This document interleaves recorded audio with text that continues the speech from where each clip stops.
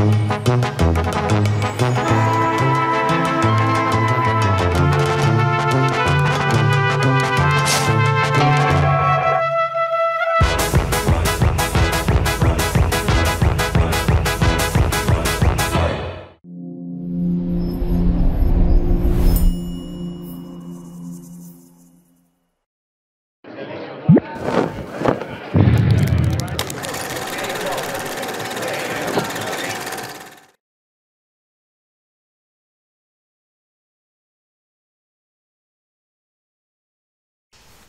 Hi everybody, uh, welcome to Animateka Pro. My name is Veljko Popovic. Hi everybody, my name is Milivoj Popovic. Uh, we're um, co-owners of uh, Prime Render Studio situated in Split, Croatia.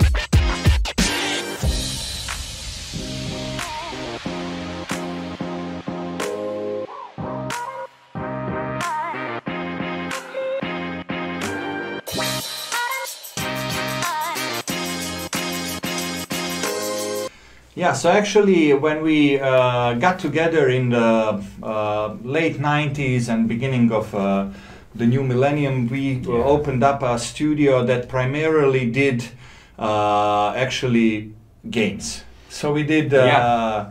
uh, in the beginning, we did casual games, uh, and uh, we actually were developing our own uh, 3D engine back in those days.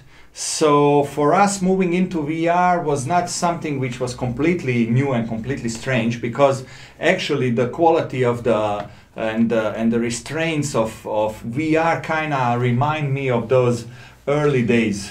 Yeah, VR is a lot like uh, creating content for gaming actually, because gaming is also real time rendered, which means you cannot pre render it. Everything is, you know, being calculated in real time. So you have a lot of constraints and you have a lot of opportunities.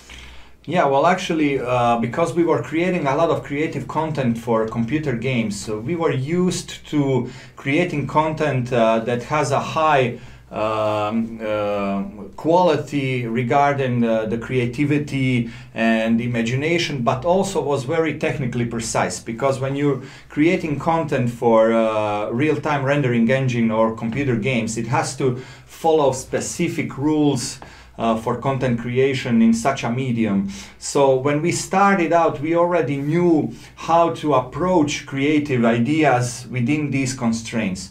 This really helped us uh, a lot uh, when we started working in VR. I would say the most important thing when you start working in real in VR is just not to underestimate uh, the technological side of it. Uh, you know, your assets and everything you're doing really has to be thought of as something that is going to be made into VR. So it's very important to uh, do your due diligence and, and do, do your research and have a good uh, technical director. Yeah, so uh, back uh, about I think four or five years ago, we were approached by a German company called Imagination First, and they had an idea to create a VR ride for a theme park in China, of all places. Yeah, yeah. so immediately we said, yeah, fine, yeah, we can do VR. Well, although we we've never done VR Yeah. up until that moment, but just because we had such a vast experience in uh, computer um, uh, uh, creation, co- computer game creation, we thought it would be some something that we would would be capable of doing. So we actually embarked on VR uh, about four years ago, doing this commercial project. It took us about nine months. Uh, we did the first VR uh, using uh, Unity. Uh, so it was really a, uh, learning process for us. Yeah, it was a lot of fun though. It was a lot of fun uh, exploring. I, I, mean, entering VR is, is really like entering a new playground. And that was certainly one of the reasons why we took on the challenge. Uh, just because it gave us the opportunity also to play with VR, to explore it, and to do it in a commercial. When when you have to do something for a client, the the downside is you're doing it for a client. The upside is you really have to learn how to fulfill certain tasks. So you're kind of forced to not run away from problems, but face them head on. Yeah. And uh, I think that was that was one of the most important things that we got from that experience. Yeah. So after we finished this uh, VR film, we we kind of thought, yeah, uh, we, are we're now prepared to try and embark on a uh, on a real experiment, and that's creating our own short VR film or a VR experience.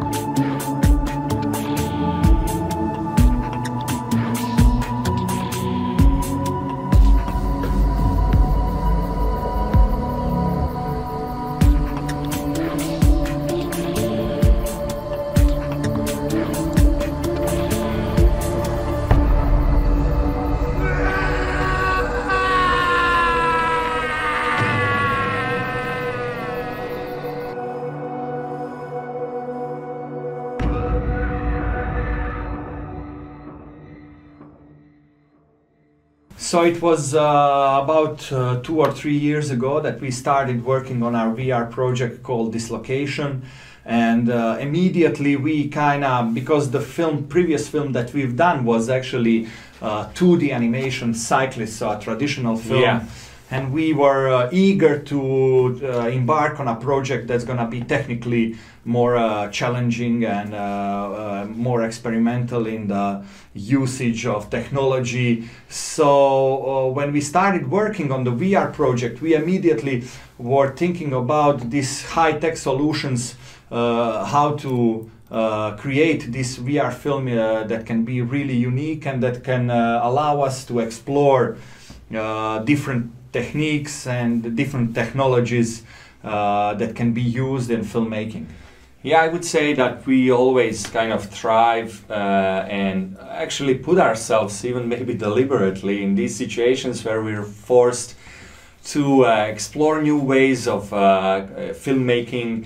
Uh, yeah. Because just by exploring these new things, you put yourself in a good position of creating something new, fresh, and original. And I think we always kind of strived, even from the beginnings, uh, to have our films feature some of those challenges or something like Planemo had an orthographic camera, which was, you know, it was an odd choice. Yeah, it was an odd choice, but it kind of put us in this position where we had to rethink things. And I think uh, our approach to VR uh, was the same. We we saw this medium and we asked ourselves, you know, how can we push the boundaries of this medium and how can we really approach it not in a way that you're taking the same thinking and the same philosophy that you had you know in, in classical cinema and trying to warp it into VR but yeah. rather just seeing like a blank slate. Okay this is the tool this is the medium.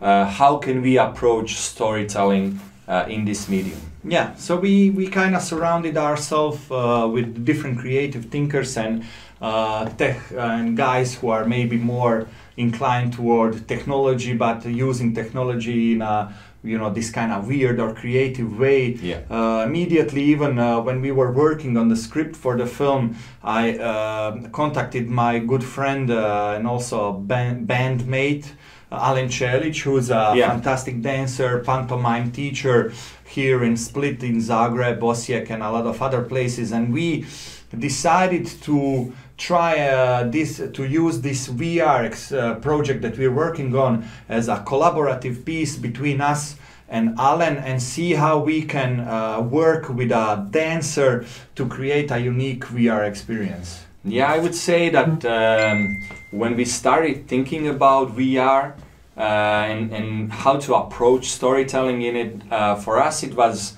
obvious that we wanted to approach it more like a theater sort of uh, sort of like art performance Yeah. piece More like a performance. yeah. piece, yeah. uh, rather than you know being a, uh, being like a story driven uh, narrative film Yeah, when you when you think about VR, when you think about films, immediately you think about camera angles, uh, editing techniques, uh, Yeah. post processing techniques, and all these things, which kind of all disappear once you dwell in, once you go into this realm of virtual reality, because actually you no longer have all of these tools. I think. For us, the way we understood VR, it was much closer to uh, be uh, to observing a, a, a theater piece or a performance piece performed by an artist in front of you, where you are invited to explore this um, um, this movement of the dancer and and the, the surround space, and the yeah. space that he that he is in. So this was our approach, and this is why we actually use the Alen. Uh, we uh, use motion capture technology to Yeah, this was the first time that we actually used. Uh, yeah, we you know, I told him, I can just say, I told him, you know, Veljko, animators are always the most expensive thing in our budget. you know, why don't we just use eliminate motion- animators. motion capture Yeah. and you know and that was uh, that was one of the reasons and uh, i think it worked out pretty well Yeah, for this film, it was uh, our idea was our creative idea was to marry this world of virtual reality, which in itself is at the same time realistic but also stylized. Yeah. So immediately you are put in this situation, which is both uh, you have this sense like you're in, you're in this real space, but also you have this uh, sense that you're in a stylized environment in a virtual re- uh, environment. yeah i mean for us we didn't want to make it like uh, really realistic Yeah. in a sense trying to recreate uh, some space some realistic everyday space so this idea of actually uh, removing people from this real world real space and putting them into something that is more graphical Yeah. and marrying uh, the fluid motions and the real world motions that we got from motion capture seemed like a very very good fit Yeah, uh, so it us. was uh, the our approach was mixing uh, reality with uh, surrealism, and I think that's in the root in the root of our approach uh, for VR, for especially for this project uh, that we're uh, talking about right now. I would say the advent of uh, real time uh, rendering generally in storytelling and in animation is a very very important milestone. It's something that's you know fresh. It's happening now and the technological strides uh, that are being made every day are, really really amazing Yeah, for me it was also a chance to again uh, feel like a pioneer. Uh, you Yeah. know, uh, exploring no man's land. You know, we were working on this VR project. A lot of the visual solutions that we needed uh, actually did not exist up until the moment that we decided to create them. Yeah, yeah, I remember searching on the forums and trying to find some solution, and then you realize, you know, you're kind of uh, Trailblazing. Yeah, yeah. People were, you know, okay, well, let us know if you solve this. Yeah, So- so, there was a lot of uh, emails uh, sent to Unreal. You know, we discovered this, or you you could do Yeah, this uh, yeah. inside VR and things like this. So for us, it was uh, VR once again. I think uh, reinforced uh, this idea inside our studio and our creative process. Uh, how fun uh, and how exciting it is to uh, explore new grounds and uh, create new visuals and approach new technologies uh, with a creative outlook uh, and try and create something which is unique, which is different, and which can transport the viewer inside a co- uh, completely new and uh, different world. I think uh, the idea of working with real-time rendering is really liberating because you you are kind of uh, free of that uh, laborious and tedious post-processing, uh, rendering, and uh, compositing yeah, part you of did filmmaking. uh, ch- exchange it for uh, something else, which is you know the pre-production and the preparation of assets for VR. So I would say the more uh, you know the beginnings are more complicated, but once you get everything set up, uh, it, it's you know it's much more easier and much more direct. yeah. And uh, I would say it uh, how it changed our thinking in storytelling is um, I would say more opened uh, doors to possibilities and uh, new ways of engaging people. And uh, what I Yeah. really liked about the, uh, VR is the power to invoke emotions.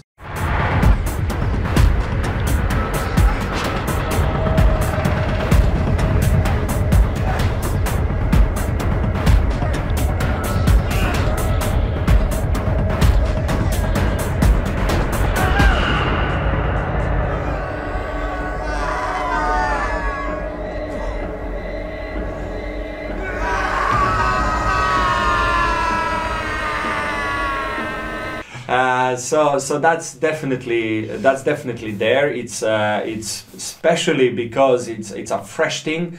It's uh, very it's very powerful in uh, producing and getting people to feel emotions, to to feel empathy. That's one of the reasons why we actually choose VR for this project. Because this project is really all about empathy. It's all about emotion. Yeah. It's uh, you know. So so I think uh, as as a tool for eliciting those things, I think it's very very uh, very yeah. effective. And also we we ex- we are now exploring different ways of how to work inside VR.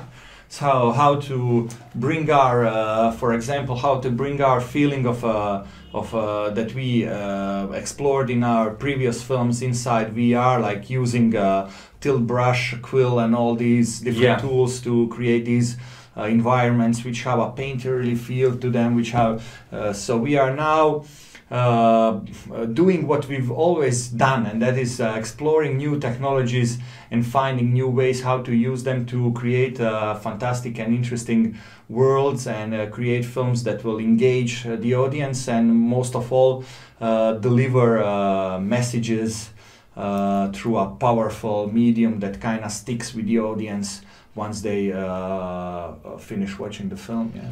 yeah, I think nobody can leave a VR experience, uh, you know, A without good being A good VR a good uh, experience. without being affected, a bad way or in a good way. And it's just really vomiting. yeah it's really uh, you know we cannot understate uh, the you know importance and the fact that this is an emerging technology and it has some extremely you know beneficial sides but it also is a tool that needs to be uh, wielded cautionly uh, because of motion sickness and and you know the technical uh, barriers that it has right now. So that's something to take into consideration for sure. And we're very excited to keep on exploring. VR, to keep on, you know, exploring storytelling and different ways of doing that, and you know, taking the ideas that really are close to our hearts and that matter, and finding new, innovative, and interesting way of presenting those ideas, and uh, you know, kind of making people a part of those worlds. Yeah, and I hope uh, you'll be joining us on this adventure that we are embarking on in this project and our future projects regarding VR, and hope to see you somewhere with a headset and Yeah, I would say like virtual presence now has. Uh, I think people are a little bit sick of it. We Cool. just wanna, we wanna kind of have the real people.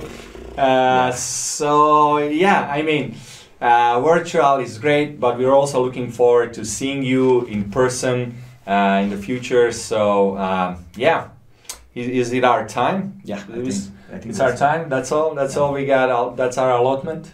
That's our allotment. Okay, so uh, see you everybody. Thank you for joining us on this, uh, you know, talk, and uh, we're looking forward to hanging more with you guys. Bye.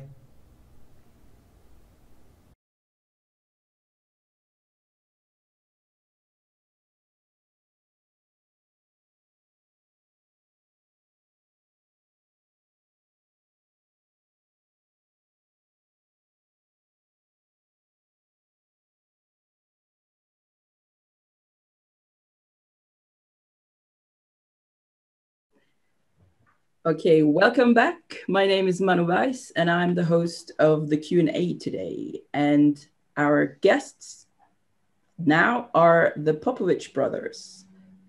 Welcome. Hi. Hello. okay. So how are you guys doing? Uh, doing good, doing good. We are in different locations. I am right now uh, a little bit quarantined, not a lot, just like uh, you know, half quarantine. And Veljko is at the studio. Hi everybody, from the studio, not quarantined. okay, so uh, we have like a few questions for you, and the first one will be from Igor and he says, Hey, Popović bros, how do you manage to work so much in different fields like animated shorts, developing an animated feature, and paying a special attention to VR animation as well? Probably you have to you have to do also some commercial project on top of it. Yeah, not if like, we can help it. Yeah, screw commercial projects. Art all the way. it's uh, it's um, uh, we're just uh, uh, passionate about creating, and uh, it's uh, something that's with us 24 7 or at least 12 7. so we there's always projects that we're interested in, projects that we're developing, that we are excited to jump on, and ideas. And we just like to talk. Me and uh, Milivoj, we just talk a lot. When we talk, projects happen. yeah yeah and we also started from you know it was like 2002 and we did a lot of different things just to kind of survive before we really got into the artistic side of things. We were doing games we were doing architecture visualizations and all of this stuff and it kind of uh, forced us to explore a lot of different avenues in uh, you know digital creating. So that kind of stuck stuck with us. So speaking of the feature film that has been mentioned um, is has it something to do with VR or not at all, or is it like a traditional? Well, we we kind of we kind of we we we have like uh, the fe- the feature is not gonna be VR because doing a feature film in VR is pretty insanity. insanity. Yeah. Yeah, I, I, don't even know how someone would uh, would go about doing this. What people do is, and I think I, I'm not a fan of it.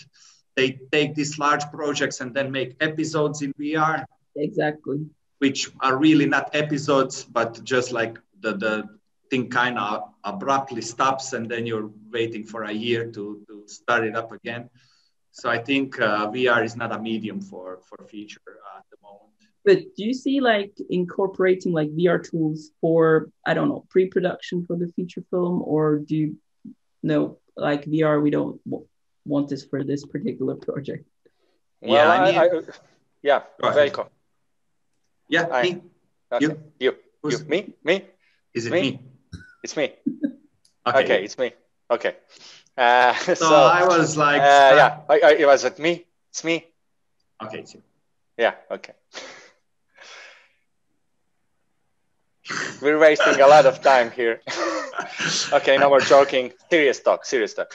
Uh, so yeah, I think uh, VR tools are, are, are great. There are some tools that are developing that are really nice to explore the you know spatial aspect of everything. I think VR is still not quite there that it can be used really super comfortably and uh, you know just like okay let's put it in there because it adds a lot and you know doesn't uh, subtract anything i think we're not there yet so I think uh, using VR in uh, storytelling has to be calculated, and you know it has to have a good reason. I wouldn't just you know throw it in there because it's there. Yeah. So, but how? What would you advise to somebody who just starts out with VR? Because now, like with the Unreal Five demo and everything, people think they they don't have to learn like uh, proper 3D production anymore. What would you advise somebody who's starting out? Where yeah it's yeah actually in vr you now have the button button make fantastic film and you press it and then uh, yeah it's pretty great. It's pretty great. add I team and then it's western team or you know stuff like this. Now actually the problem with vr is uh, and uh, with um, real-time rendering is you can get fantastic results by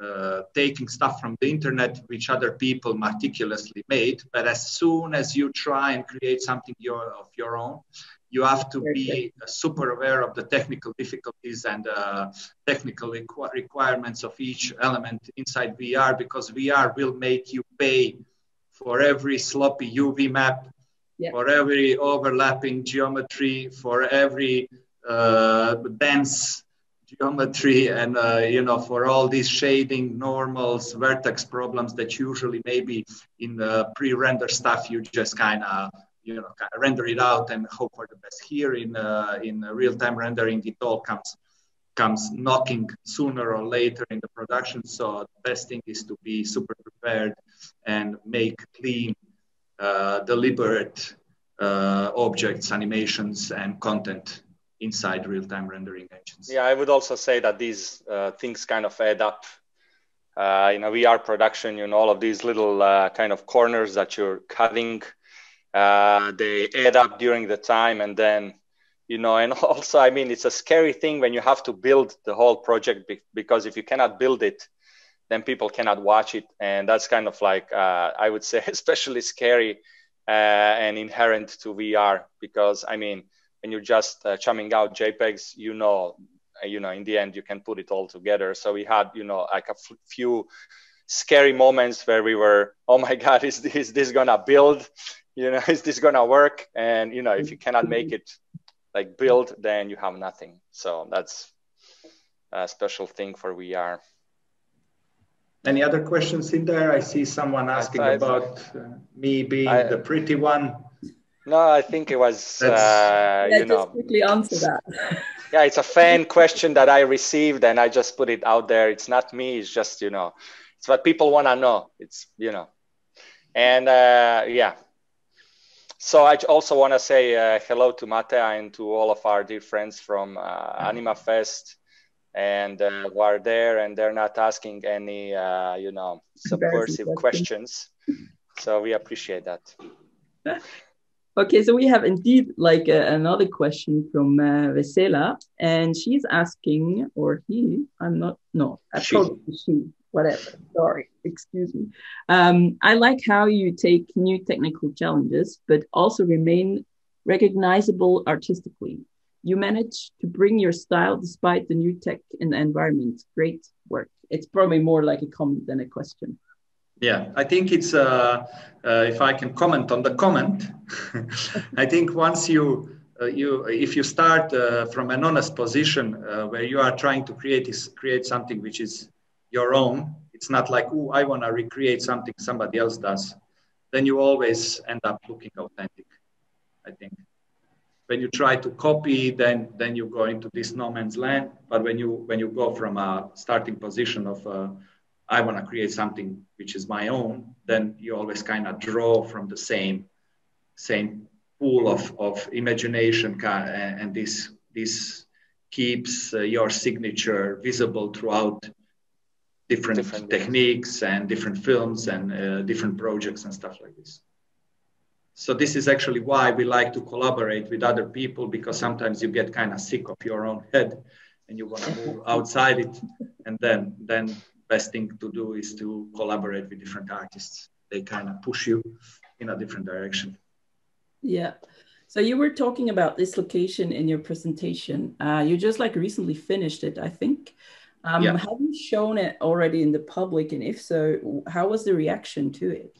Yeah, we we we had uh, one official Guerrilla. screening of the film, one official screening at uh, Ottawa International Animation Film Festival. Yeah, and uh, but uh, we also had one uh, unofficial guerrilla screening as as I wouldn't say a part of Animafest because we would say the not, underground underground part of Animafest. Uh, but yeah, we did uh, we did uh, rent a small space and then grab uh, un, unwilling individuals, drag them to to check out or test out our VR. So the, the reactions were really interesting, ranging from uh, some, actually we had one girl and she was like uh, in a fetal position like this. and the, honest to God, she was like this. Is it over? Is it over? yeah, yeah, especially the last scene where, where that uh, you know scary, scary kind of guy. And that's actually my also my reaction to many VR kind of things. I'm always a little bit, you know, I have to take off my headset and just make sure, okay, I'm still here, know, everything is okay. You're gonna survive. so yeah, we had some very. It was very nice to have uh, the opportunity to show to our colleagues and a lot of people that were there at Animafest, a lot of our friends that we didn't see for a long time. So it's yeah. really nice uh, to, you know, kind of get them in there and and share this experience with them. But uh, what I really took uh, from this experience is uh, uh, uh Vanja Andrijević, our distributor, she actually show, uh, saw the film as a 360 video inside YouTube before and stuff like this. And then when she saw it in VR for the first time, she, you know, she said, "Yeah, this is it. It's completely, uh, completely different thing watching the film inside VR than watching it on a YouTube video as a 360 Absolutely. video." And she, she was like, "Now I, I get it." And I was like, that's, "Okay, yeah, this is." I mean, you can talk about VR all day long, but if like people never experienced it, they don't really understand what what what you're actually talking about. So it's always like super um, important to actually uh, get people into VR uh, to yeah. show them what it actually means. Um, absolutely. So does that also mean that um, people that you showed it to, was it also like sometimes their first experience with VR? For for uh, some, for many of them, I think it was not because they're festival goers and they had the opportunity in the past few years to check out VR, right? Misha. Uh, I would say uh, for me, that's kind of one of the biggest challenges when working in VR is just to, um, a lot of times people are focused and fascinated by the technology and that can sometimes get in the storytelling Absolutely. because you kind of see them, oh my God, looking at the stars, you know, look at the stars and kind of stuff like that. so it's, you know, uh, that is definitely a challenge that's there for people who are, you know, first time in VR because they're really like exploring the technology and uh, the world of VR, and you know they can sometimes lose lose the track of the story.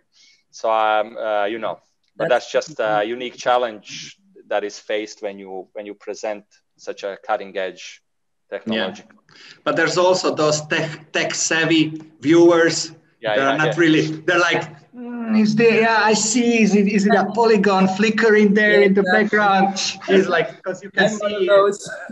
yeah yeah just putting their heads inside the rocks you know just to see okay as like you know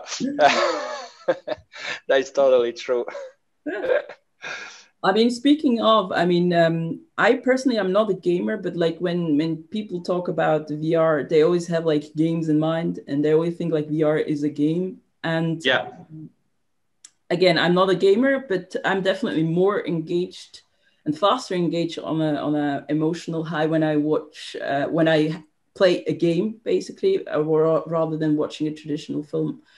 And because I'm much more physically engaged in it, like it depends on the game, obviously, but um, how much interactivity do you think is needed in a like in a successful, impactful experience, a VR experience?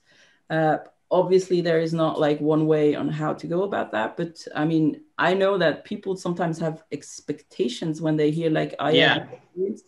They want to do something in there. How much interactivity do you think is necessary uh, to actually do like this successfully? For me, it's uh, the, the, the most uh, frustrating VR experiences. for me, the most frustrating uh, VR experiences were those where you are supposed to do something and then you're, you know, with the controller trying is, Am I supposed to do this? Should I? Nothing am I picking this up or what's what's going on? Am I stupid? Is this VR stupid? Somebody stupid. yeah. So uh, for for me, I think film uh, filmmaking uh, uh is uh, is not so. VR works at this point, I think, with minimum interactivity. And for us, we, we have a small point of interactivity in our film, and it's, uh, it's a specific element that we needed to, uh, to engage the audience to do something. So, uh, and it's one of those things where, where I cringe the most because some people are just afraid to do anything inside VR. and then we have a voice telling you after 10 seconds if you're not to continue please move the headset and then once, yeah but the, the, the, motion the motion is a little bit unnatural because you have to go inside the head of the character and people are kind of squeamish to do it. It's not something that you you know. But we wanted to kind of also you know have this little bit of interactivity just to you know put you more inside and kind of uh, put you aware of the story and the progression of the story. But I would also agree with Veljko that interactivity is not at all a necessary thing in, in VR when you're, you know, if you have a story that you want to tell, uh, you can do that definitely. I mean, interactivity is certainly an interesting feature of VR that can be used in a very powerful way. But I would always uh, avoid using something just because it's there, you know, mm-hmm. just like a gimmick let's just put something because you know we can but we did have a lot of times when we were pitching our film and then the first question would be what's the interactivity with it that was a bit of uh, it was a bit uh, annoying it's like we're not creating a game we're creating a vr experience it's a film yeah. yeah. is there any interactivity can you do move no no you can't so people expect it kind of exactly. when going to, into VR, they are they they they they want to be entertained in this kind of way, which uh, yeah sometimes can be like I said. But I thought, usually, but I think uh, also you know it's uh, for a lot of people it's overwhelming as it is. Yeah. So I don't think right now you know there's especially right now we we the way we approached it is like a, like a play or a performance that's you know you're kind of in the middle of this world and observing. Okay, cool. Well, we're actually at the end of the Q&A session. Thank you so much for, for being here. And uh, I guess uh, enjoy the rest of the festival and see you around. Yeah. Thank you Bye, so everybody. much. It was such a pleasure. Yeah, thank you. Bye-bye. Cheers. Bye.